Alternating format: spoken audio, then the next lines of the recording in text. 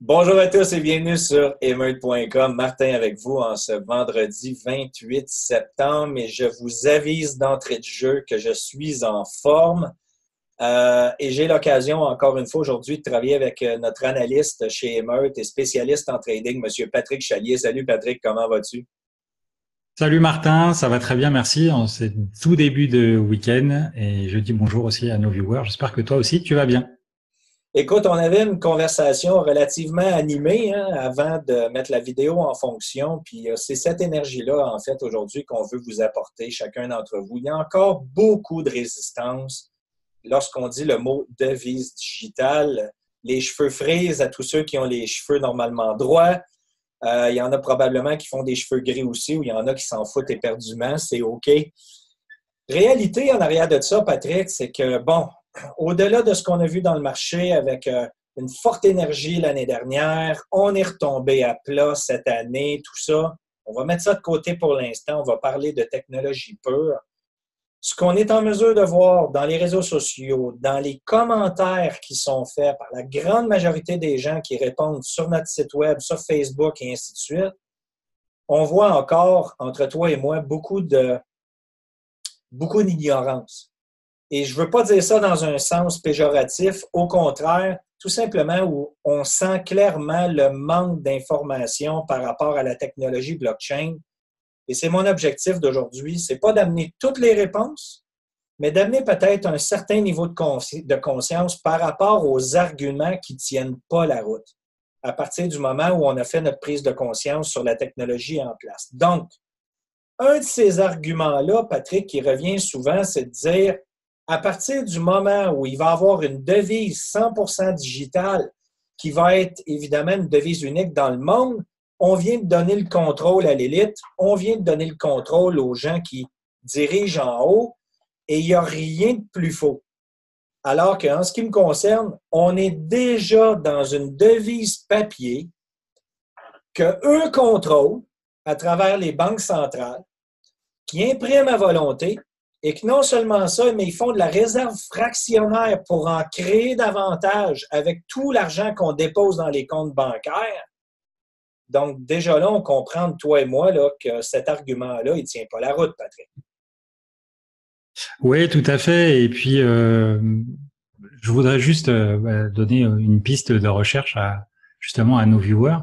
Euh, allez voir qui se cache derrière la banque qui est au-dessus encore de toutes les banques centrales, qui est la banque en fait de règlement des conflits entre banques centrales parce que donc les banques centrales représentent, bah, il y a la Banque centrale européenne euh, pour tout ce qui est questions en Europe, il y a la Fed aux États-Unis, euh, il y a une au Japon, etc.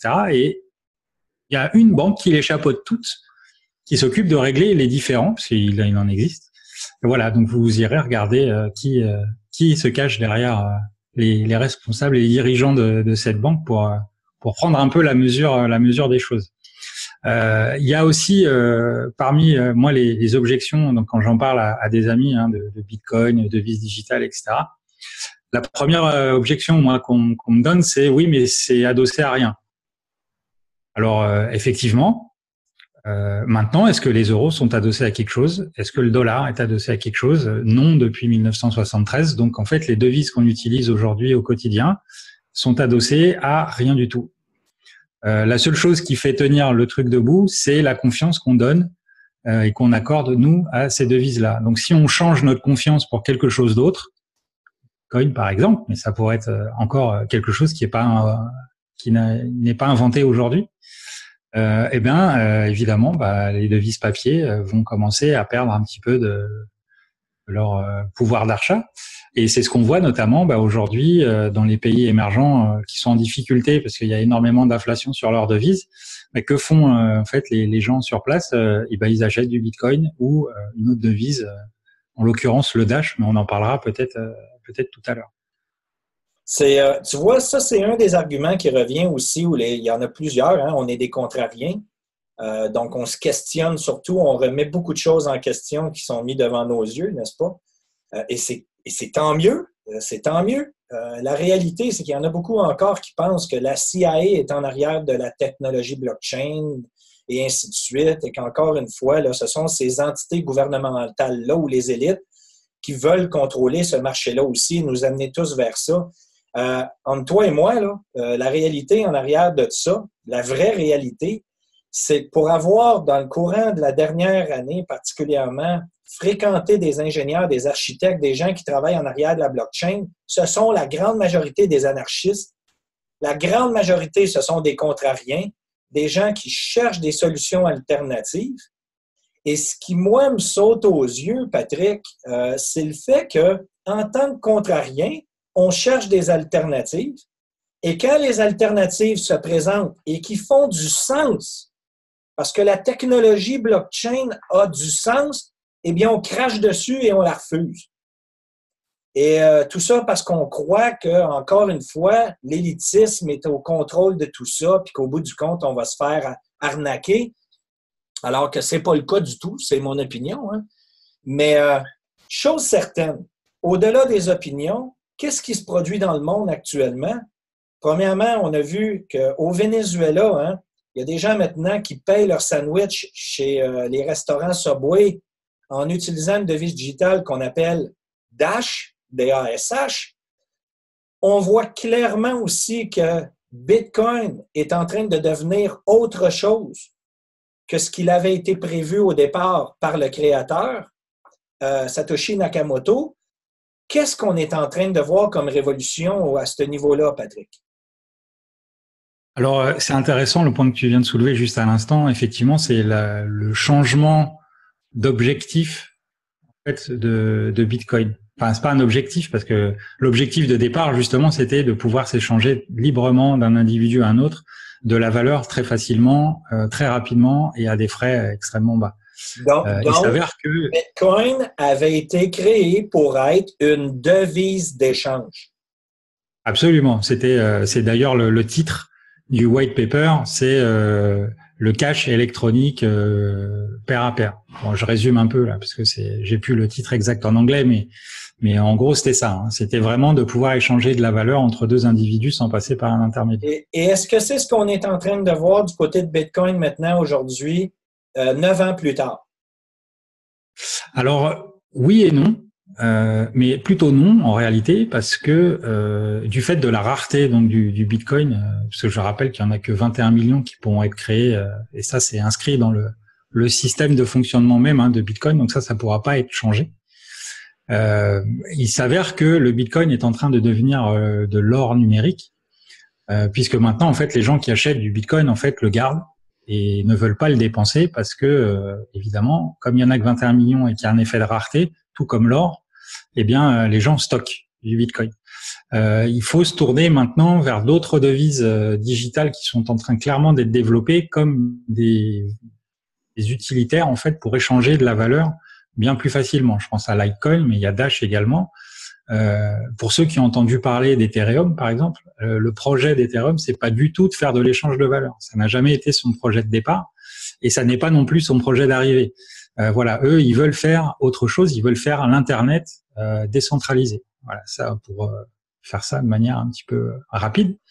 Euh, donc en fait, on s'aperçoit qu'en fait, au sein même des devises digitales, en fait, il y a des, des valeurs différentes, des projets technologiques qui sont différents et qui s'adressent pas du tout aux mêmes fonctionnalités. Et c'est là, je crois, où le bas blesse le plus.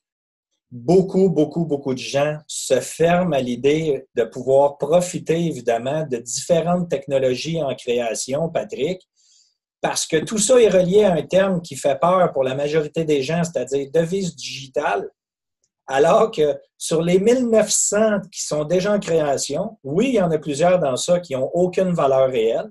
Il y a plusieurs de ces projets-là qui ne verront jamais le jour parce qu'ils vont manquer de fonds avant d'arriver à terme.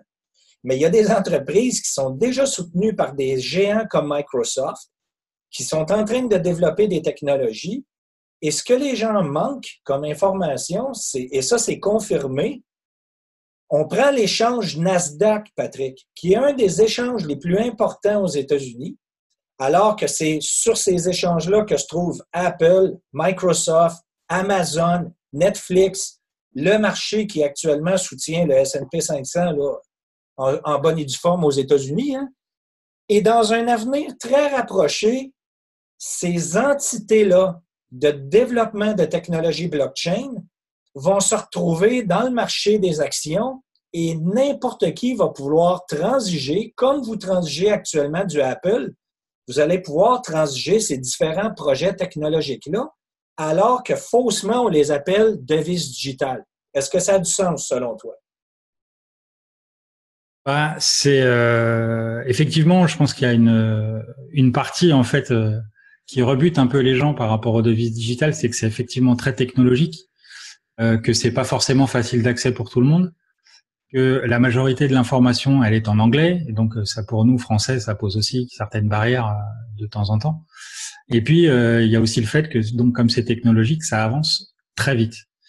Et euh, donc effectivement, si on on descend du train cinq minutes, euh, le train est parti déjà quand on revient et euh, après il faut courir derrière pour le rattraper. Donc euh, voilà, c'est une image un peu peu simpliste, mais ça, ça, exprime bien en fait la, la, vitesse à laquelle ça va.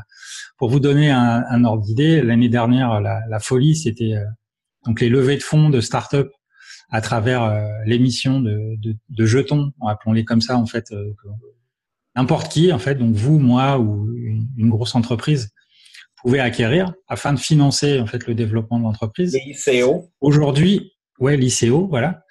Aujourd'hui, on est à la veille, parce qu'en en fait, on attend que la régulation euh, se fasse, mais c'est qu'une question de semaine maintenant.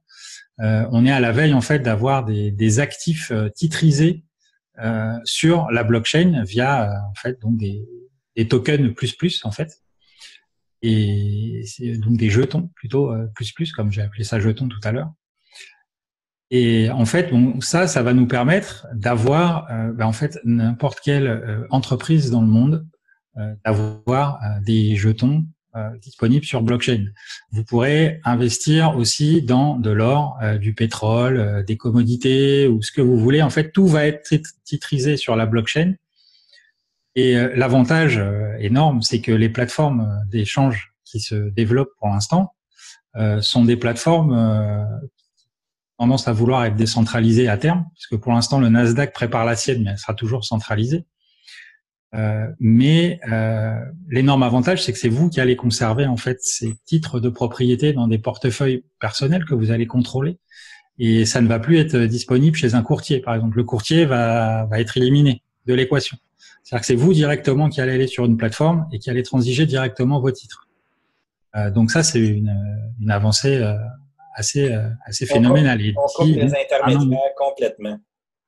Voilà, et d'ici un an ou deux, ben, en fait, euh, tout va se retrouver sur la blockchain. Donc, en fait, il faut, même si vous êtes un peu contre, euh, vous avez le droit parfaitement, euh, rester quand même un petit peu informé de ce qui se passe parce que au final, euh, vous allez quand même utiliser des services de blockchain sans vous en rendre compte c'est déjà en route. Euh, et c'est là où le prix, si on regarde actuellement le comportement du marché des devises digitales particulièrement, euh, la technologie a avancé tellement rapidement déjà depuis la dernière année, alors que le marché est baissier au niveau de sa valeur perçue hein, en dollars américains ou en euros.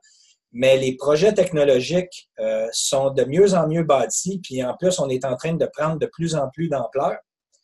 Et c'est dommage de voir qu'il y a beaucoup de gens là, qui, encore une fois, qui hésitent à vouloir faire une diversification en fait de leurs actifs, puis de participer dans certains de ces projets-là qui ont une valeur inestimable si on regarde à terme ce qu'ils veulent créer. Euh, je vais prendre un exemple ici là, qui est euh, pas nécessairement le meilleur exemple, mais quand, question de bien faire comprendre aux gens, encore une fois en amenant une image, Patrick. Euh, on parlait, toi et moi, de casino en ligne parce qu'il y a une clientèle pour ça. C'est pas nécessairement toi ou moi, mais il y a une clientèle qui aime jouer au casino en ligne.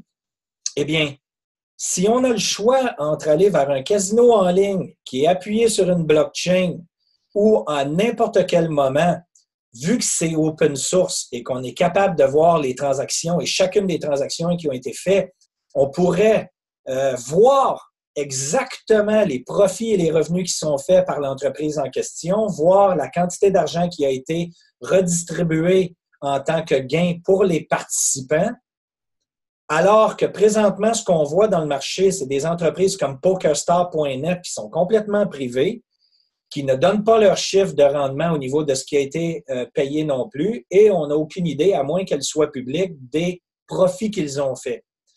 de quelle manière vous pensez que les gens vont vouloir se diriger?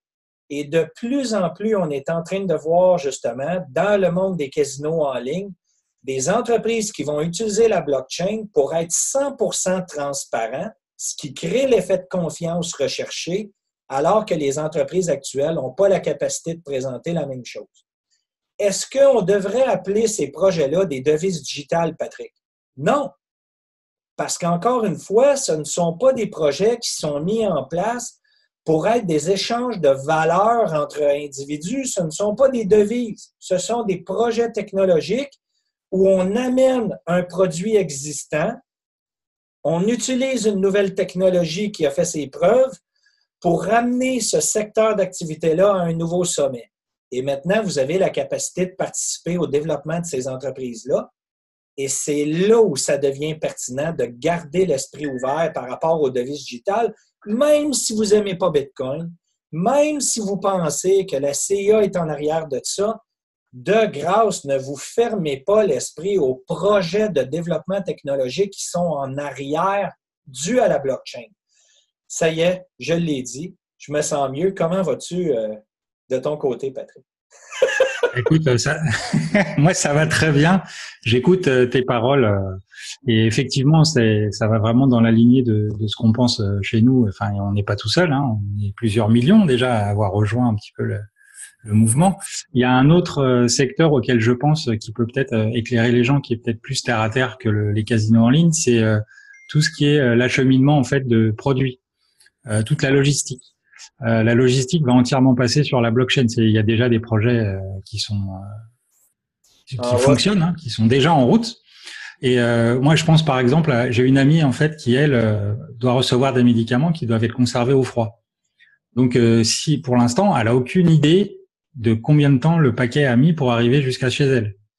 Avec la blockchain, elle saura exactement quel jour, quelle heure le paquet est parti, euh, où est-ce qu'il est passé, et cette information-là, en fait, tout le monde pourra la consulter, et surtout, personne ne pourra la falsifier. C'est là où, en fait, les enjeux de la blockchain sont énormes. C'est que, en fait, il n'y a plus de falsification de, données. Une fois que les données sont écrites, elles sont écrites et on ne peut plus les changer. Donc, euh, c'est vraiment là où ça apporte énormément à tout, euh, bah voilà, tout un pan de l'économie euh, un peu partout. C'est la crédibilité ultime et c'est ça que la blockchain apporte. Euh, tu amènes un très bon point. UPS, FedEx, dans les transports de colis, il n'y a plus d'histoire de croire ou non ce qui nous a été donné comme numéro de retracement. Je veux dire, tout va être sur la blockchain directement, puis les entreprises, comme les individus, ne pourront plus raconter des salades. Et c'est à partir du moment où on comprend ce phénomène-là, qui est la blockchain pure, en fait, le principe de la blockchain pure, au-delà d'une devise d'échange. Parce que c'est exactement, en fait, on peut les, on, classerait ça en quoi? En trois parties distinctes, Patrick? Bitcoin est en train de devenir une valeur refuge comme l'or. Il y a de moins en moins de gens qui le transigent parce que les gens le perçoivent. D'ailleurs, tu avais une information pertinente en France, tu me disais en Europe, 50, c'est quoi? Combien de pourcentage des portefeuilles où les gens possèdent et ne touchent pas du tout? Ah, c'est même euh, dans le monde entier, en fait, il y a à peu près 55% des personnes qui détiennent des bitcoins qui les laissent sur des portefeuilles et qui les stockent, bah, comme on stockerait de l'or euh, dans un coffre. Parce que voilà, c'était là où c'était en France en fait la législation pour le, le ne pas payer en fait de de plus-value sur l'or, il faut attendre, je crois, 20 euh, ans ou 22 ans, je sais plus, pour euh, revendre son or sans payer la plus-value à l'État. Donc, euh, voyez que les gens qui stockent de l'or le stockent pour longtemps. Et ben pour le Bitcoin, on est en train de voir le même phénomène en réalité. Donc, le libre marché en plein essor, et c'est ce qu'on cherche en tant que contrarien. On est tanné, on est fatigué de voir les manipulations du système bancaire. On est tanné de voir les manipulations au niveau politique. Et là, vous constatez qu'on a un outil maintenant que le marché détermine sa valeur. Il n'y a personne qui a déterminé que Bitcoin était pour devenir une valeur refuge. C'est ses propriétés intrinsèques à Bitcoin qui fait que les investisseurs le perçoivent comme une valeur refuge, alors qu'il n'a même pas été créé pour être une valeur refuge au départ. Et c'est ça le libre marché. Donc, encore une fois, cher contrarien, notre objectif aujourd'hui n'est pas de vous rallier vers nous parce qu'on ne cherche pas à avoir raison. On cherche tout simplement à vous éduquer davantage, à vous expliquer qu'est-ce qu'il en est Et encore une fois, ne croyez pas un foutu mot de ce qu'on nous raconte. Allez vous éduquer.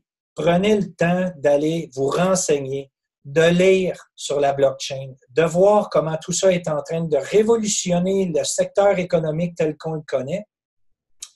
Et vous allez voir à quel point que ça peut peut-être vous ouvrir l'esprit à participer à différents bons projets, parce que là, d'où l'importance, évidemment, de faire une analyse approfondie pour bien comprendre les projets dans lesquels on veut participer. Et à partir de là, c'est là où emeute.com peut devenir une source de référence pertinente pour vous. Patrick, euh, je veux te remercier encore une fois du temps qu'on prend. Je le sais qu'il y en a beaucoup qui ont énormément de difficultés à croire en tout ça, euh, qui a beaucoup de résistance. Et euh, nous, on veut devenir la référence francophone. On veut que les gens comprennent. On veut bâtir notre crédibilité. On ne lâchera pas le morceau tant que vous ne serez pas avec nous. Puis pour le reste, ben, je veux vous souhaiter un très, très bon week-end, la belle température, espérant que ça va se produire chez vous. Patrick, merci encore pour les conseils, les informations. C'est toujours apprécié. J'ai toujours beaucoup de plaisir à travailler avec toi, mon ami. Bah écoute, euh, le sentiment est partagé, Martin. Merci beaucoup de m'avoir invité et puis euh, bah, j'espère à une prochaine fois pour euh, d'autres aventures sur la blockchain. Cool. Puis écoutez, si vous avez des questions, vous avez des commentaires, n'hésitez pas à poster tout ça en bas de la vidéo. On va se faire un plaisir d'y répondre. Et pour le reste, encore une fois, passez un bon week-end. Salut tout le monde. Bonne journée. Bye bye.